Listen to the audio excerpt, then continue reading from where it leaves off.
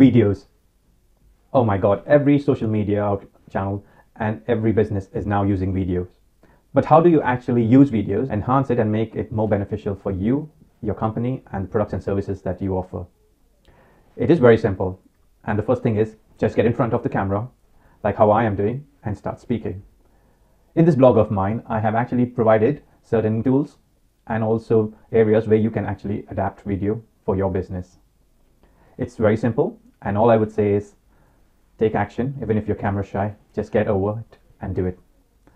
I hope you enjoyed this blog, and if you need help or if you need any kind of support, speak to me or any of my coaches within the, this community, and we will be more than happy to help you.